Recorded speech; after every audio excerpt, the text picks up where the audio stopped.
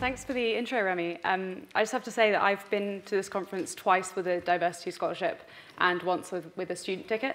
So um, if it weren't for FFConf's generosity and commitment um, to creating a diverse community, I wouldn't be the developer I am today. So thanks to all the team for that. Um, hi, I'm Charlotte. Uh, by day, I'm mostly a front-end developer at a startup in London, but by night and on Thursdays and Fridays and the weekends, um, I make generative art and find ways of making that into physical art. So today I'm going to talk about a few of my projects that cross that boundary um, and hopefully show you some ways that you can make use your coding skills to make physical stuff as well. Um, but first, uh, why should we even use computers to make art at all? Um, especially physical art. You think that art is like a very expressive process, and adding this complicated, like very binary middle step seems kind of incongruous. Um, but I want to argue that computers are actually better adapted to the design process than any kind of traditional artistic medium. Um, like in this cycle, if I was building like a rocking chair or something, every iteration, I'd have to build the thing from scratch. Uh, but with code, you can build off what you already have, and you can make as many copies as you like along the way. And I think we often forget how bloody marvelous that is. Like, imagine building a rocking chair and immediately getting infinite variations of that rocking chair. That's basically what we have with code. Um, and similarly, making physical things from code usually involves writing code to tell a machine how to make something, which is still a whole, a whole lot less laborious um, than carpentry is. Uh, so I'm going to start off by talking about some humble CSS. There definitely hasn't been enough CSS today. Um, there's this perception that generative art is very JavaScript heavy, very math heavy, um, and that's definitely can be true. Uh, but I want to lower that barrier and show you that you can make generative art with just CSS and also kind of prove it to myself that that's possible. So um, I hope that's big enough to see. This is just a random demo of 100 white squares um, with a black circle in them, which is twice the size of the, of the square. Um, so because of the default positioning, the black circle is in the top left of every square, which creates this kind of white triangular cutout thing. Um, this is already showing a key quality of code that makes generative art possible, by the way. Uh, we only have to write the styling for like that one grid item, and it styles all of these squares. Um, forget that I had to write div 100 times. uh, repeatability is the key quality of computers that makes generative art possible. But doing the same thing over and over again only gets you so far. Um, there needs to be some sort of genesis. Um, with generative art, that's often randomness or some user input like touch. Uh, but I don't want to make CSS art you have to hover over. Um, but there is this one pseudo class that makes things kind of interesting. Nth child, ta-da! Um, this is, hasn't made that very interesting yet. Um, this is just changing the position to be on the right for every second square, uh, which just makes these semicircles. But if I change that 2n to 3n, you get this pattern. And I think that's starting to look kind of interesting. Um, you can see it, still see it's a grid of squares, but there's something much more alive about it. And uh, that's what the joy of generative art is. It's about getting these unexpected outputs from just by like tweaking the input. It's a visual result you didn't expect from literally three extra lines of code. Uh, and we can keep going with this. This one, I've added a, another nth child modifier, which changes the, so basically like every sixth one will now be in the bottom right, every third one will be on the right, every third, every second one will be on the bottom. You don't really need to get what's going on. It just looks pretty. Um, this feels really different to me from the previous one. Uh, and yeah, we can just, we just flip them over and it makes a very different thing again. Um, and with this one, I'm using three and four. And you just get such different patterns each time.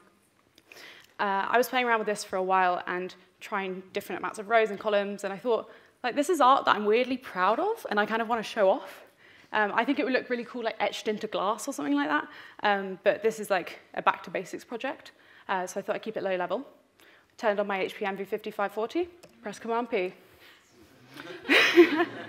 uh, we're going to get on to some really cool machines that make digital physical art. Um, but I want to take a moment for the humble desktop printer. It's definitely the most accessible machine I'm going to talk about. I think most people have access to a desktop printer, and if not, like it's like 10p for an A4 black and white sheet in a print shop. Um, and with this, I just printed them out, sandwiched them between some thin pieces of acrylic I got, I got off Amazon, put a nail on the wall, hung them on binder clips. Very easy art. Um, this was opposite the door in my old studio, and genuinely, every time I opened the door, it made me so, so happy every time I saw them. It's it was like felt really creative and it looks really looks really interesting. So these interesting shape combinations, even though each of them was about 20 lines of code. I think the physical, present, the, the physical presence of having something you've made decorating your space is really powerful, and it like clearly doesn't have to cost a lot. Um, besides making cool abstract decorations, I think printing is really useful to give context to a project. It's really easy to forget that computers are constantly mode switching. Um, they're the most transient element of our 21st century lives. Uh, there's really no permanence in what you're seeing on a screen. So even though mentally you may remember that this variable will result in this output or this page will lead to this page if you click this link, you can't really get a stable view of that and all the different like contexts and stages of the project unless you materialize it somehow. Um, I like to go so far as to printing entire websites. um, this was a client project I was working on but they had a lot of mismatched styles, um, and I was building a component library for them. Everyone thought I was like being really excessive when I printed out the whole thing, but it was the only way to get the bigger picture of what was going on. Um, so I'd like to encourage you all to print things off more. You can like offset the carbon some other way. uh, and that, yeah, wasting paper leads me nicely onto pen plotting.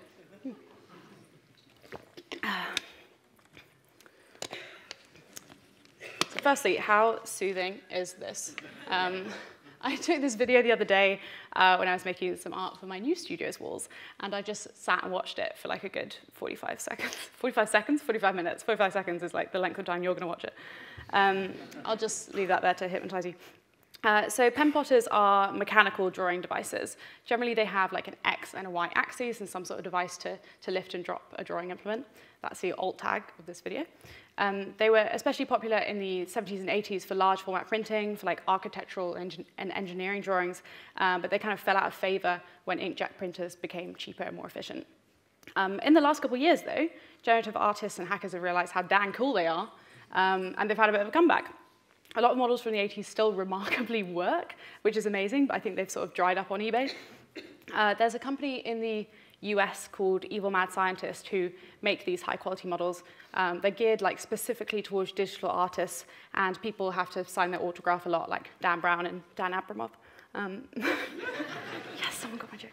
Um, there's quite a wide spectrum of these pen plotters available. Like uh, Kickstarter is completely rife for them. Um, and some are on the cheaper side, but as far as I can see, nothing matches the build quality and consistency of the AxiDraw. Um, I bought this one about six months ago, and I love it. Um, this is the A3 AxiDraw. It costs about 550 quid, um, which is a fairly hefty investment for hobbyists, I'll admit. Um, but you know, my family are going to love it when they get all customized, handwritten, um, illustrated Christmas gifts. uh, for me, this is the kind of device that really encourages me to be creative because I think the output is really tantalizing. Um, I was saying before about how the, the digital world is distinct from the physical world because it's like perfectly, accurately repeatable. Um, but that's kind of a shame sometimes because it doesn't leave any room for serendipity in code. You're always going to get the same result every single time. But with pen plotting, you can have like a, a very detailed millimeter perfect drawing, and yet you're still going to get these spots where like the pen over inks when it hits the paper, or like the paper stock is, is a little bit off, um, and the, the lines aren't perfectly smooth. And I think that's, that's really beautiful. Uh, when you look at a piece from a pen plotter, you can feel the hours that have gone into it. I think there's something really special about that, about being able to see that effort, even if it's, even if it's not human effort. So um, throughout this talk, I'm going to have a few practical tips uh, to point you in the right direction if you want to dip your toes into this area. Um, so first practical tip, uh, test everything on rubbish paper first. If you're planning on getting into pen plotting, um, get some cheap, thin paper as well as like your nice paper that you want to hang on the walls. Um, I can't count how many times I've just completely messed something up by the pen not being at the right height or the scale of the drawing being wrong or something in the setup being funky. Um, and that's, that's very, very painful. Um, to avoid having to do the entire plot twice, I have a, like a template that I use to calibrate the machine.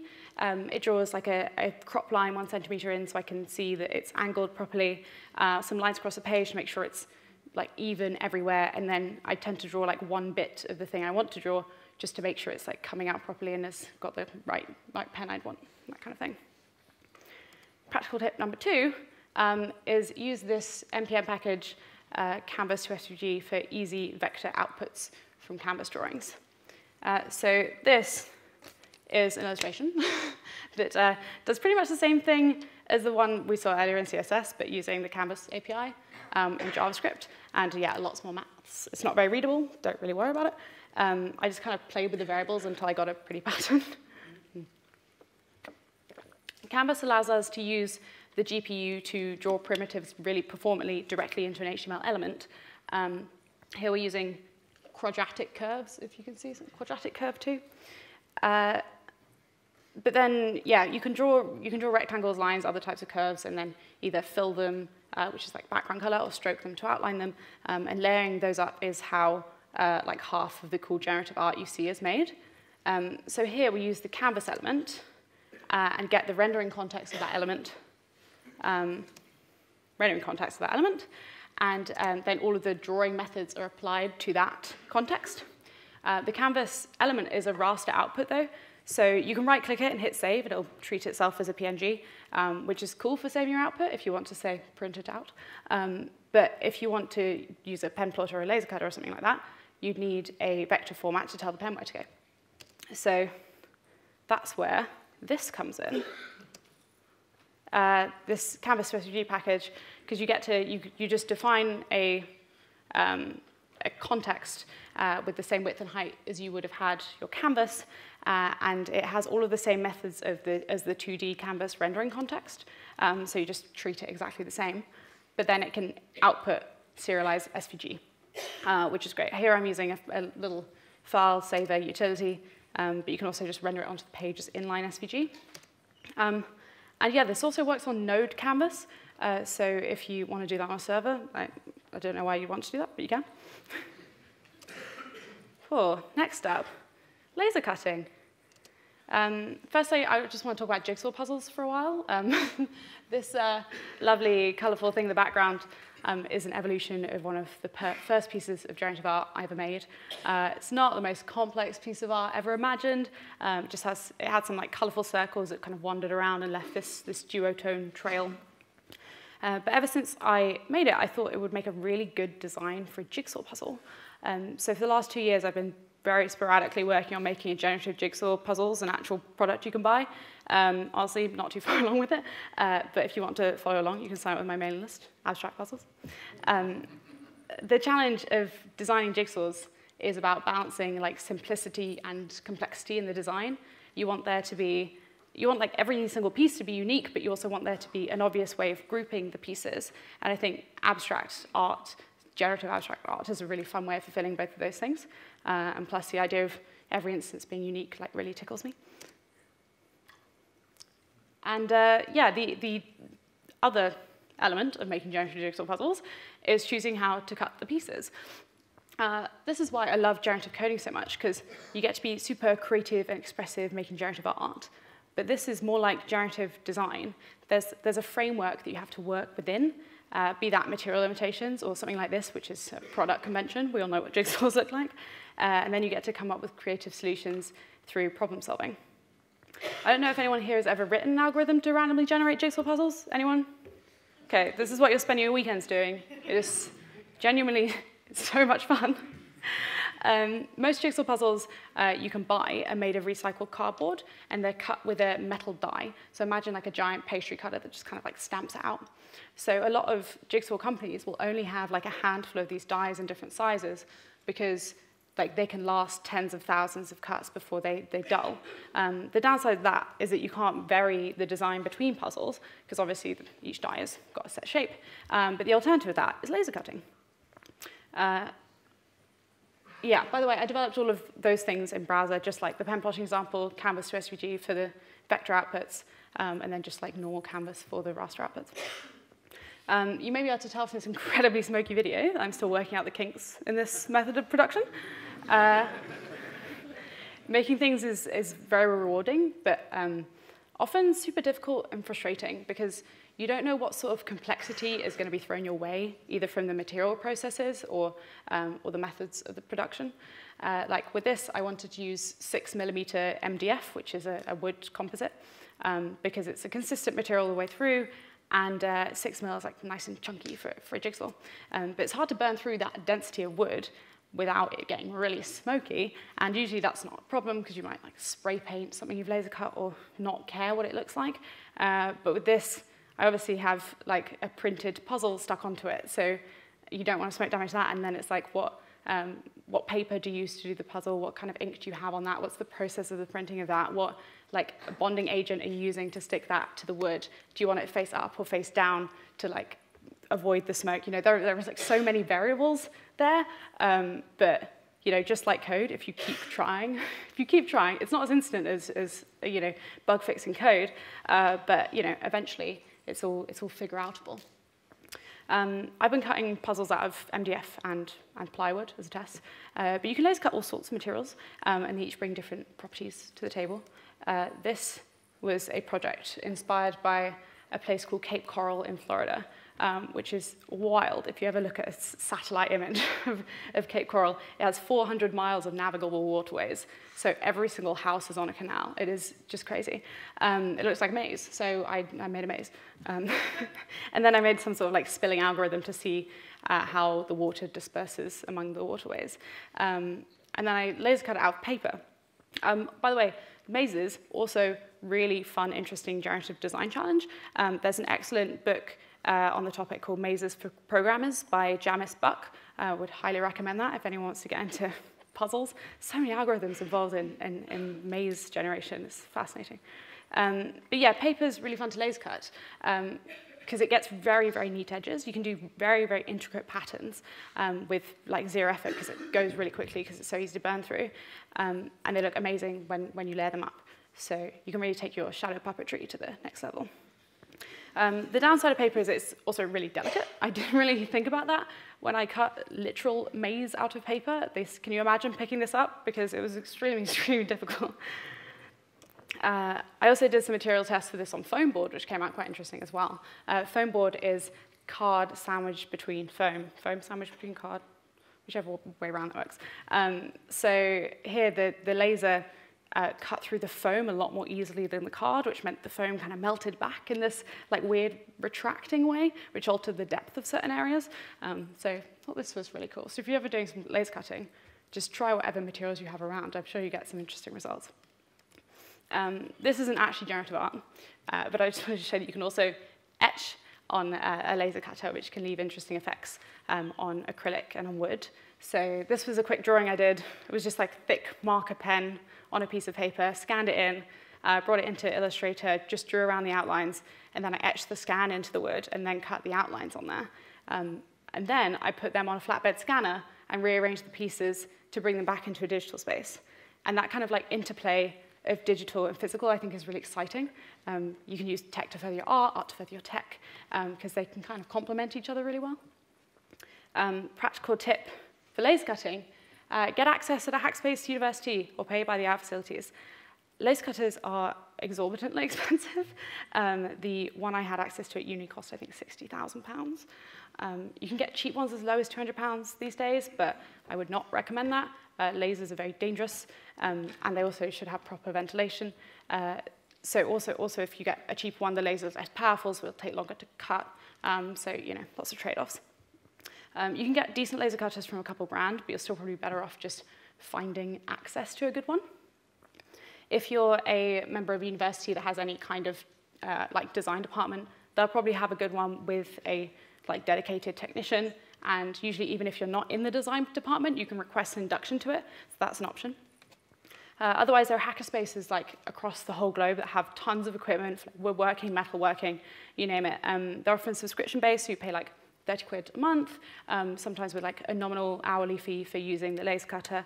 Uh, but they're also very community oriented, so it's a good place to learn new skills and, and meet like-minded people as well. Uh, there are also plenty of places that just charge by the hour for a laser cutter, so you're just left in a room. You have to know how to laser cut before they let you do that. Um, but yeah, that's what I'm doing at the moment. It's, it's pretty great. Uh, my second practical tip, test-driven development, still applies here.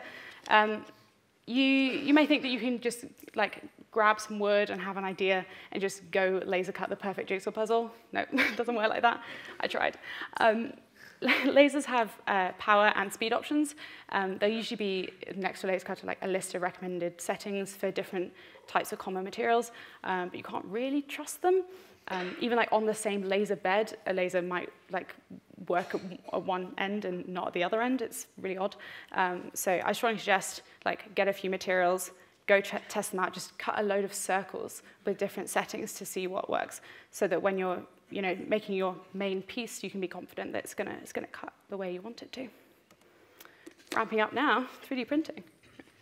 So I want to tell you about this project. Um, it's my favorite thing I've ever made. Uh, and it started really small with this. Um, but first, let me tell you a bit about my background for context. Uh, I studied jewelry design and silversmithing at university. That may be where this obsession with material things came from. Uh, but while I was doing that, I was always working on the side as a web developer. Um, so when I like finished that bachelor's degree, I was kind of leaning towards a career in web.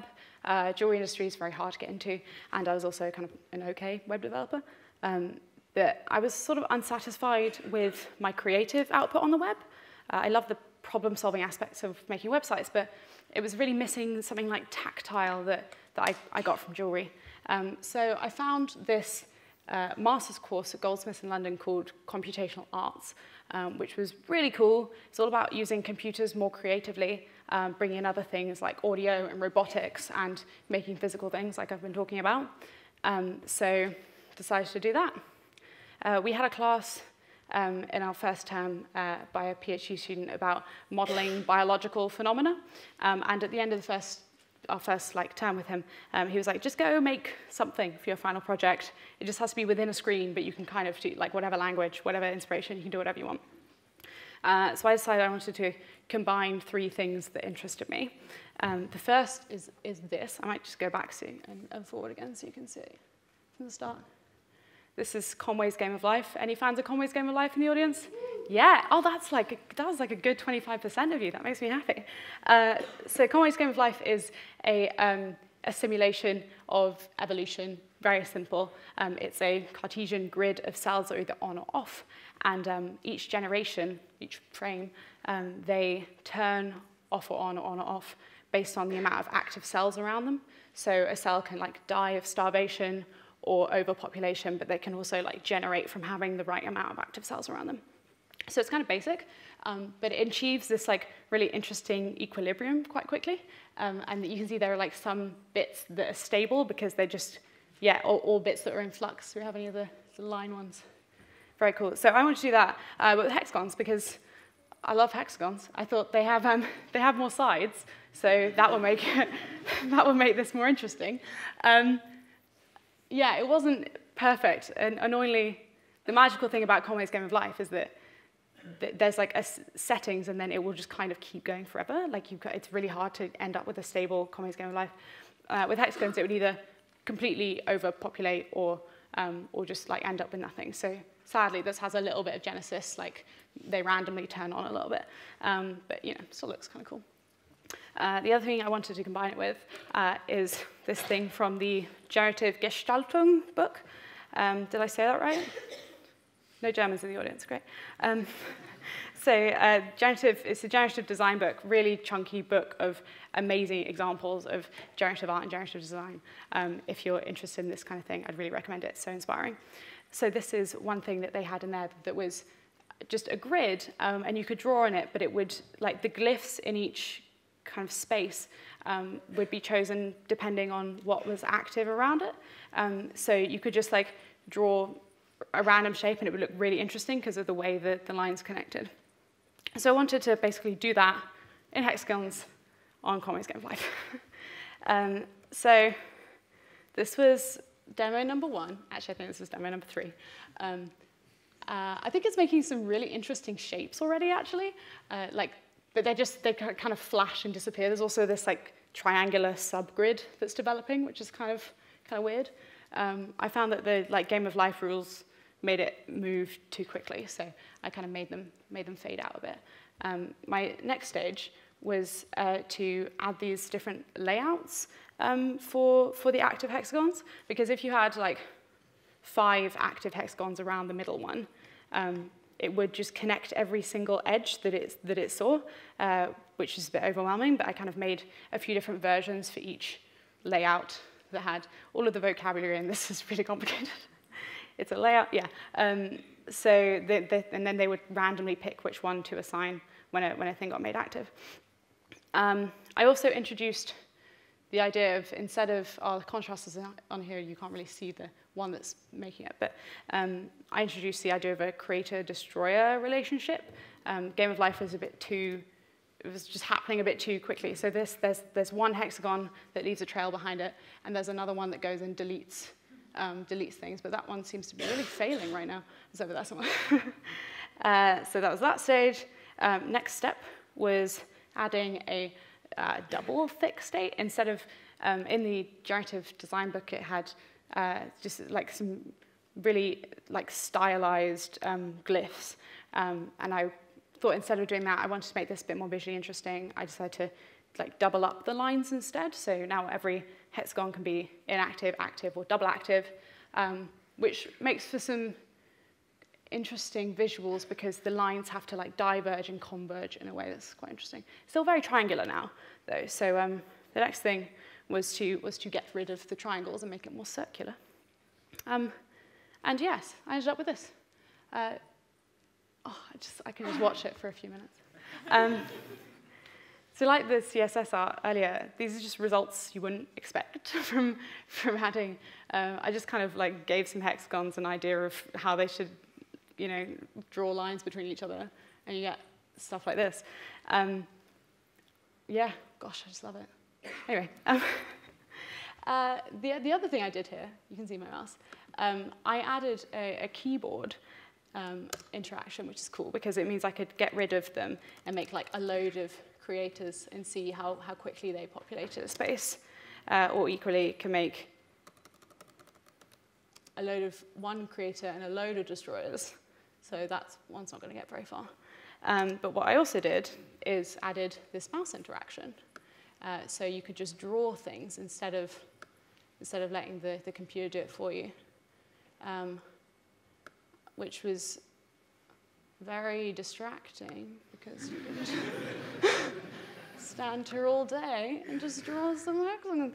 Um, yeah, so I was doing, doing this, and I kind of got to this point of, of being like, oh no, I've made jewelry.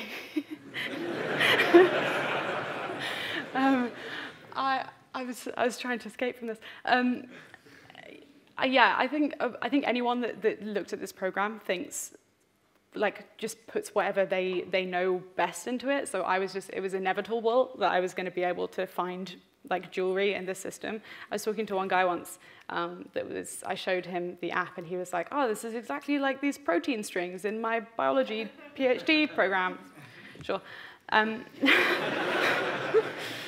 so uh, I realized I had to pursue this. There was no way I could just stop at this point. Um, so, but that, that university project was over, but we could come back for a like final major project in the summer. You could do whatever you want for it. Uh, so I decided to pick this up again um, and make it into jewelry somehow. Uh, the first step was figuring out like how, like what, what does that mean? What, what jewelry would it be? Um, and I decided to like forego the concept of reality for a while um, and just like make a 3D visualization of exactly what I wanted uh, without being kind of constrained by the idea of actually producing it. Um, so, and I also had to rewrite the whole thing because it was originally written in P5, which is like a JavaScript implementation of processing, which is like a thin layer on top of the Canvas API, which I don't know why I did that. Um, and I also had to change the quadratic Beziers to cubic Beziers for any Bezier fans in the audience. um, anyway, so uh, yeah, um, so I made this thing. Oh, I also, uh, I kind of really saw them as, as being wire forms. Um, and like the ways they overlapped, I could really imagine how that would happen in, in 3D space. Um, so I made this here. Uh, so the left-hand side is now this space. I want to try and make something beautiful for you, but it's difficult. Um, oh, I just want to start again. Hold on. oh, we'll go with that. You also can like hover now to get those different layouts I was talking about, which is quite interesting. Um, and now there's this render button, which does this. it's not loading the, it's, it's not as shiny as it is in, in, my, in my current demo, but um, it's pretty cool. So, um, so yeah, this, it has two different sliders down here, if you can see. Um, this top one is for, it's really hard to figure out how you're to make lines overlap in like a complete arbitrary system. Um, so I decided on two, two ways of doing it. Uh, this one is, is um, for particular layouts. So like this, this bit here, which is that hexagon there, um, it's obvious that those two lines should always be separated from each other. So the, the first one is like separate the things that would obviously cross over. Um, and the second one is uh, hard to explain. It's bringing, it brings up like the middle, the inside line of any of the doubled up bits. If that makes sense. You can kind of see it here if I, I'll go back and forth. Anyway. So, um, so now you can sort of also like design the thing on the canvas, but also like have a play with how it how how deep it is. Um, and this whole thing was written uh, in JavaScript with Three.js, um, which uh, was remarkably easy to integrate. It's just uh, they're just a load of pipes basically. Um, and yay! So I uh, yeah I did the thing. I made the visualization of exactly what I wanted to do. Project over. Nailed it. Um, no, no. Now I had to physically make this in jewelry somehow. Uh, the practical tip, you can export STL files straight from Three.js. This is like really mind-blowing. Um, I thought I'd have to like export this weird data of all of these positions of these lines and import them into a 3D modeling program and then do some sort of code in there to, to make it into something. Um, but there is an add-on for Three.js, which means you can export STL files directly from there. Um, STL files are like uh, 3D object files that store the object as triangulated surfaces. So you can use them straight in 3D printer software, uh, which is really radical because it means as JavaScript developers, if you're a JavaScript developer, um, you don't even need to touch like SketchUp or Blender or anything. You can make, you can do 3D modeling in the browser and then have it print out, which is very cool. Uh, the next thing is thinking about how I print the thing. Uh, there are a whole bunch of different 3D printers. Uh, most commercial 3D printers, uh, non-commercial 3D printers, are extrusion-based. Uh, so they have a reel of plastic behind them and they melt it and they kind of like poop out as they go in layers. Um, the trouble with that is that I want to make this thing in precious metal. I'm a jeweler. I like, like shiny things. Um, and the normal way to do that in the jewelry world is that you would 3D print the thing and then you would make a, a, a mold of that in rubber and then you would make a copy of the original thing in wax, and then you would use like this traditional jewelry method, lost wax casting, to make the thing.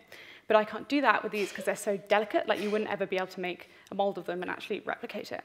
Um, so yeah, the ideal thing would be to use this bad boy, which is um, uh, is a direct metal laser, laser sintering machine. Um, this is actually one for steel, but there does exist, I think, several in the world for gold. I've witnessed one firsthand. It's amazing. Um, you may be able to guess from size. Extremely expensive, though. um, so with these ones there, it's like a, a really thin layer of powder, of like powdered gold, and it will use a laser to just melt the powder and then go down a little bit and put another layer of powder on top of it, and then go down. And literally, then you have your thing perfectly just made out of the metal by melting it with lasers. Mind blowing. Um, yeah, I don't have access to that. What I did have access to was, um, was this amazing machine. This is the Formlabs Form 2.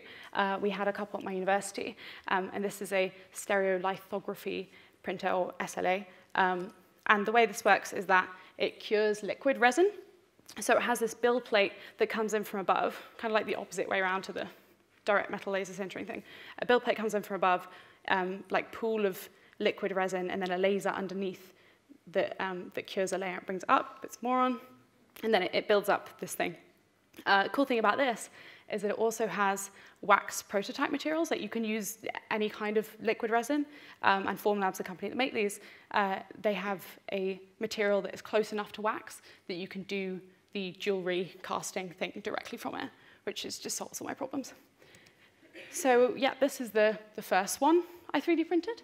Um, the thing behind it is the support structure. So when you're, uh, that's actually upside down on the machine. But when you, like, it can't cure in midair. It needs to have something holding it. So that's why it has this kind of support structure holding it all together. Um, and that was too big. My second ones were too fragile and small. But these third ones just just right, like the Goldilocks of 3D printing. Um, they have, it's like as if the, uh, if it were made of wire, the wire would be one millimeter thick, which is like really um, like good size for jewelry in terms of its softness and stuff. Um, and they, they're all just quite sensible size. I'm wearing them. You can, you can just see.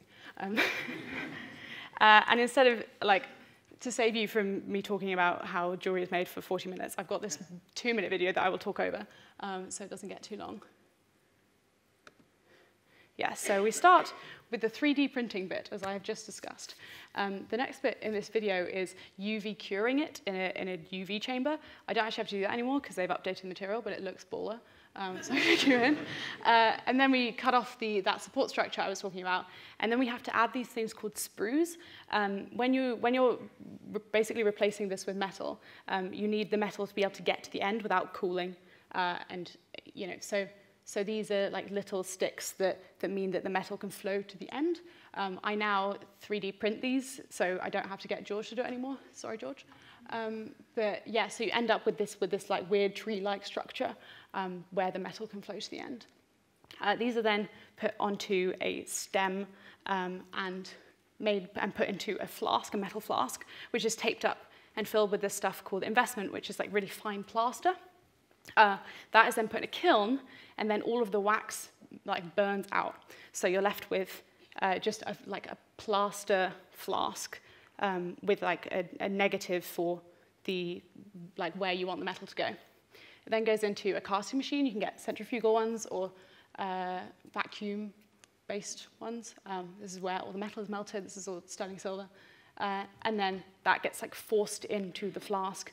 And then you end up with just like a tree of the exact thing you made in silver. This is like how 99% of jewelry is made, by the way.